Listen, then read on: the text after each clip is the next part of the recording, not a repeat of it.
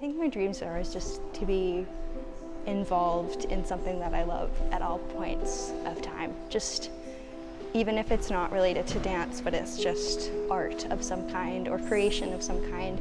I just always want to be in that world. I always want to have a toe in that pond and it's exciting to have that be such a big part of my life right now and I just hope that I get to keep that forever. So.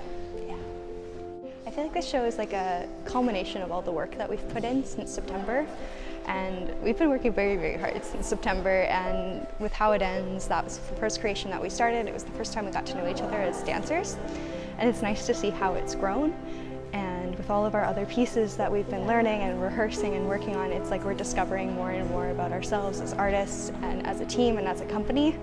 So I'm really excited to like show off how hard that we've worked this year and how much, how far we've come. So I'm very excited about that. That's what that show means. Yeah.